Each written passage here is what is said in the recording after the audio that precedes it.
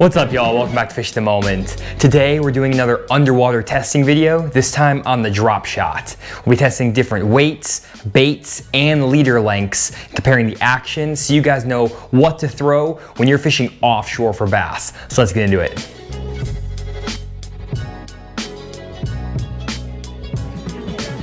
So before we jump into the footage, I want to explain the concept for this video as always.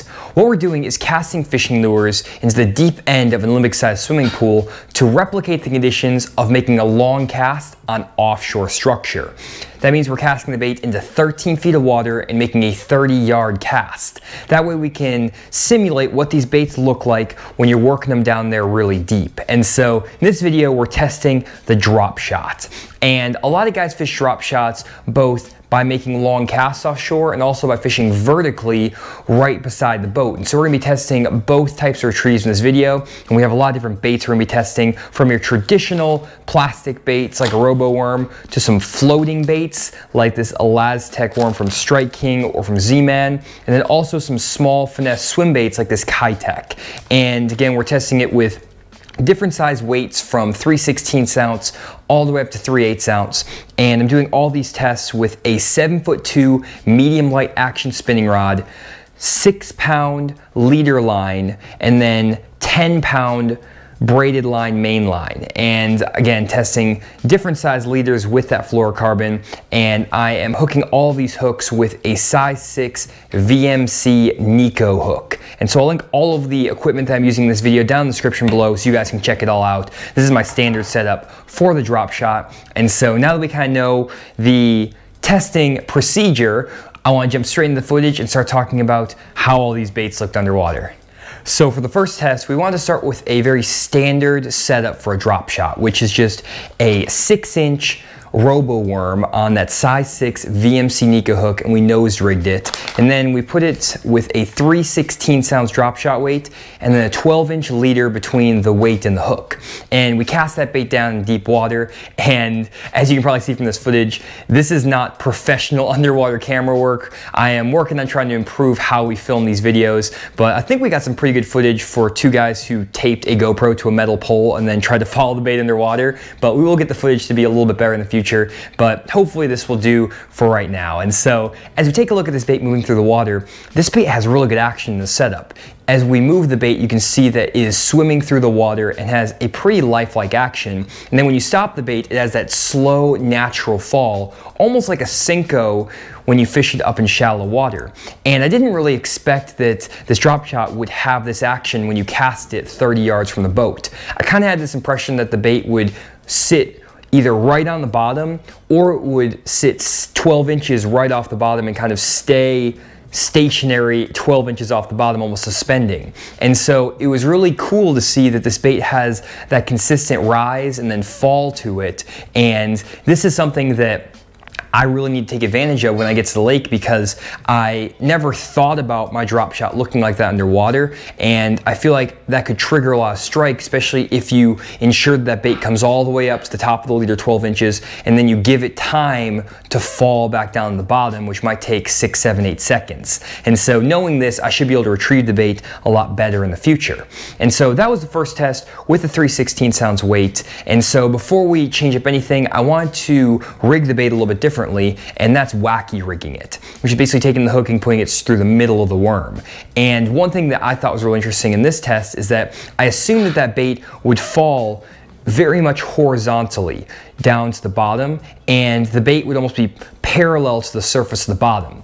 But instead, that bait stood straight up with the nose of the bait pointing towards the pool. And that's probably how I rigged the bait. There was probably a little bit more of the nose of the bait as opposed to the tail of the bait on one side of the worm or the other. And what that's gonna do is cause that bait to sink nose first. And so unlike my expectations where that bait would stay perfectly horizontal to the bottom, it was now perpendicular to the bottom and it is going to look a lot different underwater. So it does still have a pretty good action when you're moving that bait and you can see the kind of tails will go in and out and pulsate, which is kind of what I was expecting, but I wasn't expecting that nose down look to that wacky rig worm. And so I really like that look as well. It's something different and I do want to make sure that I test in the future where exactly you need to be rigging these worms in the center to make sure that they are you know, parallel to the surface of the bottom and we'll look at that in future videos. But that's kind of a test for your traditional hand-poured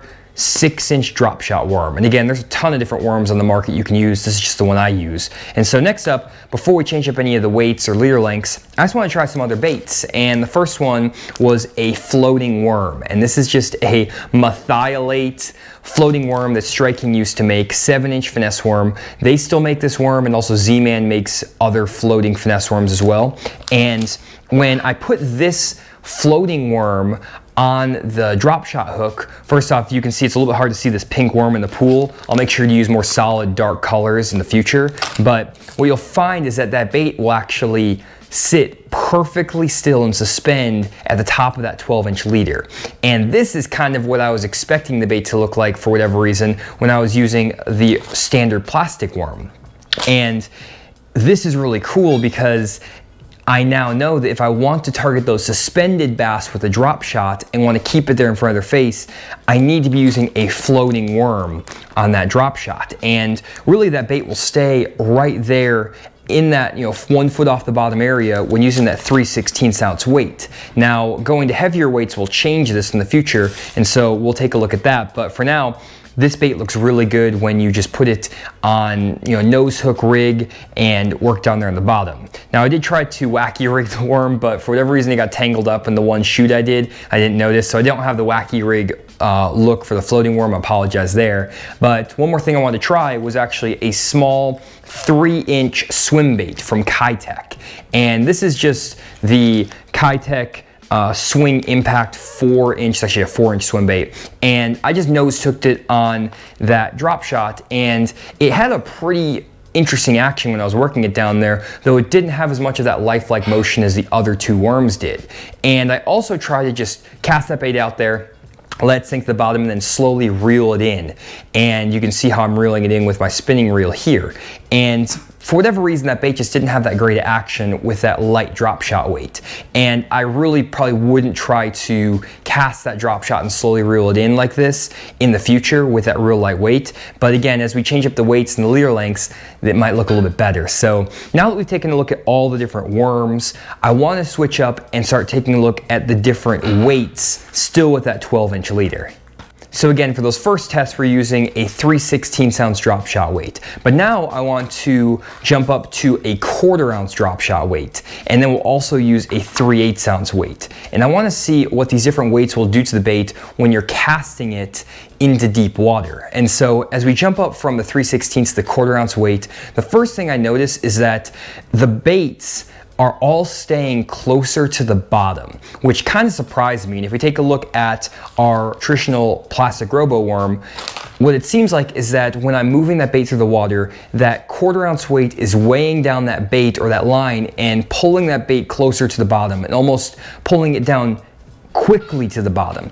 And this is super fascinating to me because I would have never thought that the weight of this drop shot weight would have that big of an impact on how that bait moves through the water because that weight is trailing the bait, not in front of it. But it seems to make sense now when you're dragging that weight that that bait might stay a little bit more tight to the bottom and closer to the bottom because as you pull that bait up, the resistance from that heavier weight is pulling the bait down. And you'll notice that that happens with the plastic worm, which keeps it tighter to the bottom, doesn't make it go as high off the bottom, but also with a floating worm. And when we put the floating worm on there, it almost causes that bait to have somewhat of a recoil effect where you pull that worm, it gets pulled down towards the bottom, then recoils back up as it rises up. And so it actually gives this bait kind of a cool action the fact that the bait will dive down into the water and then rise back up, up almost like a floating crankbait. And so this could be a really interesting technique to use when those fish are maybe a little more aggressive and you want to bring that bait up and down the water column just a little bit and get those more aggressive fish to feed. And so the lighter weight didn't cause these baits to sink towards the bottom or pull them towards the bottom as much as the quarter ounce weight. And you know, as we then put them on swim bait as well, what I notice is that the swim bait will actually swim a little bit better when I'm reeling it on that steady retrieve with that quarter ounce weight because it is kind of weighing that bait down a little bit more, giving it more resistance, allowing me to reel the reel a little bit quicker, giving the swim bait more action.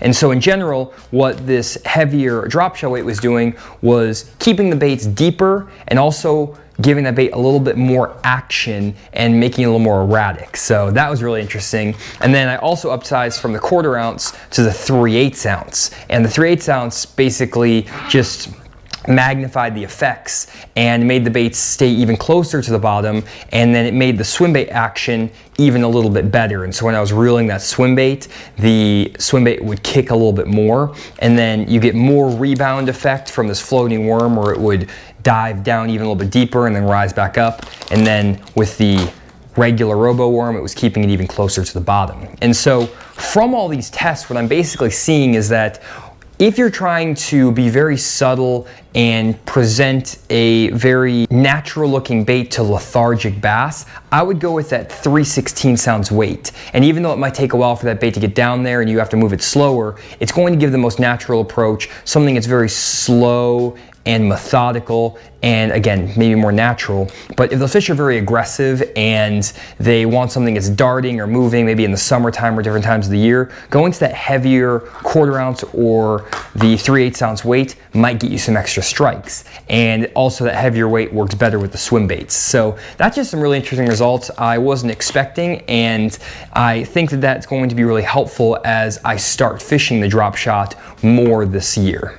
Now the other thing I wanted to test is the actual leader length of this drop shot. And so what I did is test the bait on a 12 inch leader with a quarter ounce weight, and then with a six inch leader with a quarter ounce weight, and then a four foot leader with a quarter ounce weight. So all of them are with a quarter ounce weight. And if we take a look at the different leader lengths. Here's the standard 12 inch leader, which we were just looking at for a while. And then here is what the bait looks like with a six inch leader and you can see it first with the Roboworm the standard plastic worm and this is a really really cool look to this worm. Really it keeps that bait tighter to the bottom and it kind of dulls the falling action when you're throwing this regular plastic worm so that bait isn't really having a long time to fall but it's also keeping it closer to the bottom and so those fish are locked in on the bottom. It may not be a bad way to get those fish to react just shortening that leader. And this also might work better if you're fishing in shallower water where those fish are only maybe, let's say eight or 10 feet deep. And then if we put that six inch leader with the floating worm, this has awesome action. Really that bait just sits right in front of those fish, six inches off the bottom. And if I was going to be fishing this floating worm, I would probably go with a six or an eight inch leader a lot of the times because it will just float that bait right above their eye line and get those fish to go crazy. And so you know, you can definitely get away with the 12 inch leader, but that 6 inch leader may have its place. And the bait did have pretty good action too with that short leader with the swim bait, and it swam pretty well as well. So it was really nice to test out that shorter leader and something I need to experiment with in the lake to see how the fish react to the shorter leader versus the longer leader. It's hard to say just by looking at it in a pool, but again, I am gonna be doing a lot of on the water testing to follow up all these underwater testing videos so that you can see what happens in the pool and how it affects fish and actually works on the lake. And so be on the lookout for those videos on my channel and subscribe to the channel if you want to be notified of those videos. Make sure you don't miss any of them. I'm posting every Monday, Wednesday, Friday on the channel, guys, so you'll be able to see all these videos. And so that was a six inch leader. Next up, we went to a four foot leader. And a four foot leader was super long, but it gave the bait amazing action. If we take a look at the four foot leader with the Roboworm, you can see that that bait is going to have a really slow, long fall. And I feel like when fish are super pressured, it's almost like fishing a weightless worm, but you can fish it in 20, 30 feet of water. And what you can do is cast that bait out there, raise your bait up all the way up to the top of that four foot leader, and then wait that 10 or 15 seconds for that bait to glide all the way down to the bottom. And I think that this again could be a great way to get those lethargic fish to bite and something I definitely have to try when I get out in the lake. And I might even try that uh, this upcoming weekend in my Beaver Lake tournament I'll be fishing. And so that was awesome. I love that look of that worm falling on that super long leader.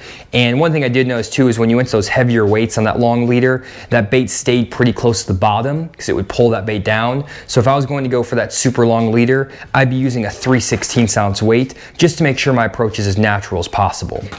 And then I also tried the floating worm on that four foot leader and Again, this bait looks awesome. It floats four foot off the bottom and it's gonna sit right in front of those fish. And it's a great option if those fish are suspended at a very specific depth, like let's say four or five feet off the bottom.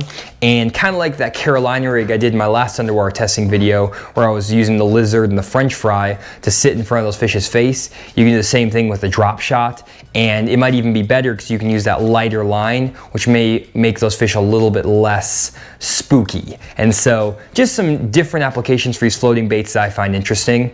And you know, the only other thing I tested in the pool guys is testing the motion of these baits when I am fishing this bait vertically. And so what I did is basically just drop the bait right vertically down straight in front of me into the pool you know, not even casting it anywhere, just dropping it in the pool. And I wanted to see what the Roboworm and the floating worm look like when I fish them vertically. And this is another test that really surprised me because what I found is that with the traditional Roboworm, that bait would basically sit tail down as I was shaking it. And the tail would just fall and it would basically be sitting perfectly vertical up and down. And then with the floating worm, it was the exact opposite. Instead of the tail going down towards the bottom, the tail floated straight up towards the surface. But in both cases, these worms are sitting perfectly perpendicular to the bottom of the lake or basically sitting straight up and down.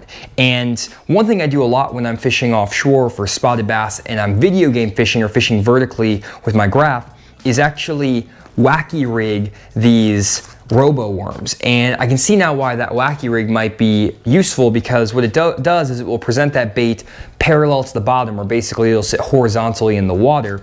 And what that will do is get that bait to maybe look more like a bait fish or a bluegill because there's not that many bait fish that are gonna be sitting straight up in the water up and down. They're gonna be sitting more horizontally. And so that might be why I get a lot more bites when I wacky rig my worm when I'm fishing video game fishing and fishing vertically. And if you guys do want to learn how to fish with your electronics with a drop shot vertically, check out this video that's on my channel. It's a complete guide to video game fishing. It's like 40 minutes long. I spent a I spent like 30 or 40 hours making that video, guys. It took a lot of effort. And so definitely check that video out because it is the best guide on the internet for video game fishing or vertical fishing with your electronics. So that's basically it, guys. That's all of the different tests I did with the drop shot. I was at the pool for only about 45 minutes because we were testing out different filming techniques. So I wasn't able to test everything I wanted to do with all the different baits, but I think this is a good starting point. And I do want to hear your feedback in the comments. You guys have great suggestions on different ways I can set up my rigs, things that you've done in the past that have been successful, things I should test in the future. And so a couple things I'm gonna do in upcoming videos are take your suggestions, either film a brand new video about drop shotting and all the things you want me to test, or just kind of compile all of your cool ideas into one video and say, you know, top 10 ideas from underwater testing videos, something like that. So definitely leave comments. I will take note of all of them, even if I don't have a chance to respond to every single one of them and we will use those in future videos.